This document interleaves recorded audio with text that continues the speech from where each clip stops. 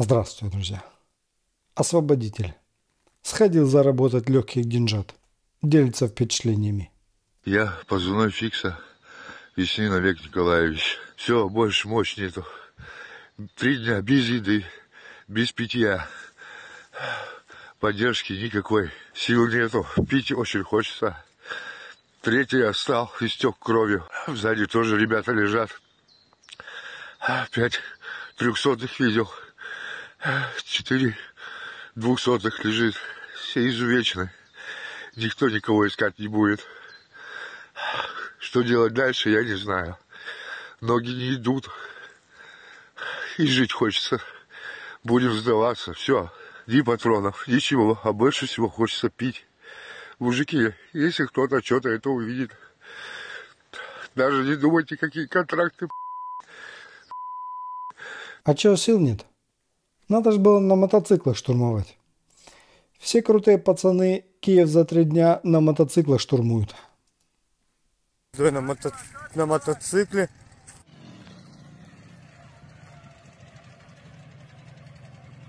Вот, пацаны тренируются, занимаются.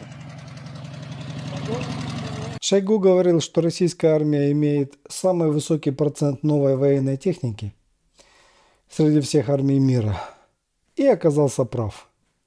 Ни в одной другой армии мира больше нет таких мотоциклов.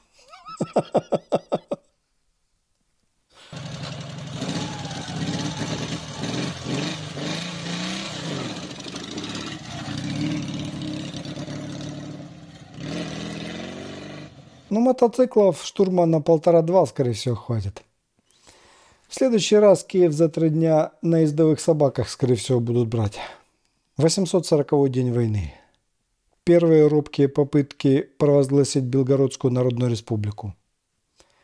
Пока только три человека. В Химках.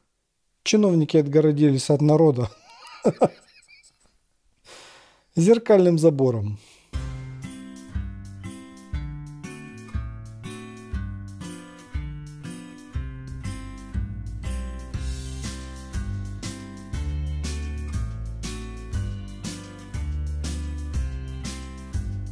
Для тех, кто торопился, что это вы сейчас видите? Опа! А это вы видите сейчас тот самый забор. Тот самый бетонный забор. Поэтому не надо было раньше времени говорить. Все очень даже симпатично. На экономическом форуме в Петербурге не заключили ни одного крупного контракта с иностранцами. Ну, то есть Талибан, Топинамбур и говяжьи хрящи покупать отказался.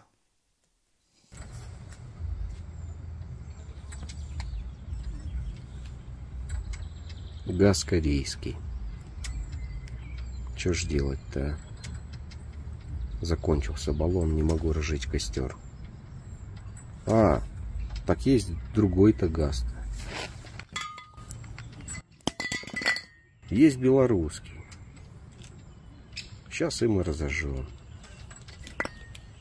А российского? Ну, российского нет. Нет, братан. Российский газ есть. Просто он Китаю нужнее. Это Самара. И тут живут люди.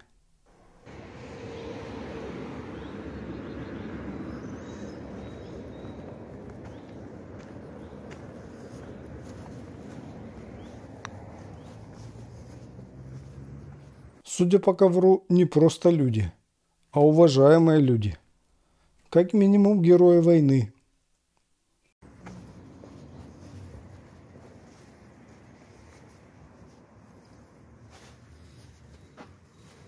О, как в воду глядел.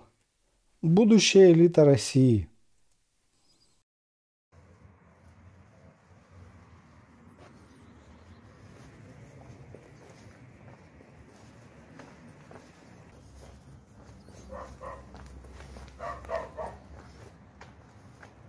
Спасибо деду за победу. Спасибо сыну за машину. Мать освободителя. Жалуются, что из гробовых на похороны пришлось отдать целых 60 тысяч.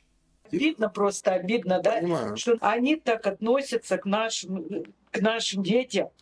Вскрытие гроба, вынос морг. э, И за что за это деньги? Да, То есть они за каждый шаг с вас брали деньги, получается. То есть с вас за вскрытие гроба, за да, вот это занос в морг, Да. это за все брали деньги. да, То есть это они вам выставили счет на 60 тысяч рублей? да, да, да, да, вот. То, что сын погиб, мама не расстроилась. Мама расстроилась от того, что из гробовых 60 тысяч кому-то отдать надо. И надо было за, за то, что сына привезли 19 с чем-то заплатить, у меня не было. Гробовые еще не пришли, а мне уже 19 тысяч отдать надо. Жалуется мать набитым золотыми зубами ртом. Был такой указ, что крест и один венок шел бесплатно. Мгм. Я говорю, мы за, вен- за крест тоже. Кошмар. Мать, обвешанная золотыми цепями, в золотых сережках, полным золотых зубов ртом, торгуется за бесплатный крест и венок. Это не кошмар, это Россия. А вы знаете, что самый лучший подарок – это книга. Вот такая. И вот такая. И вот такая. И еще много-много разных моих книг с дарственной надписью. Все их можно приобрести в фирменном магазине моего мерча Гордон Шоп. А еще там можно приобрести и вот такой кофе, и вот такую подушку, и еще много-много чего. Благодаря вам, покупатели фирменного магазина моего мерча Gordon Shop, я уже отправил нашим бойцам на передовую 170 дронов. Давайте отправим еще. Приходите в интернет-магазин Gordon Shop. Помогаем фронту.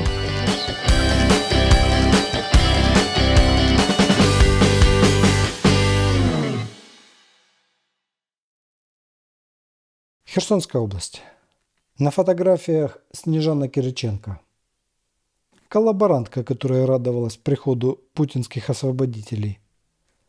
Помогала им доставать сигареты, лекарства, сим-карты, еду, алкоголь. Вчера вечером она ответила очередной группе героев, что у нее больше нет водки, и они ее за это убили. Следующая остановка – кладбище. По требованию. Так вот в Петербурге привозят по требованию на кладбище. Единственное требование, которое путинская ОПГ готова удовлетворить. Волгоград.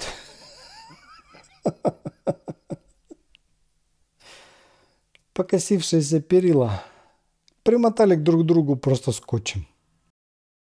Илон, Маск, тебе специалисты по повторному запуску твоих двигателей нужны? Бесконечно можно смотреть на три вещи.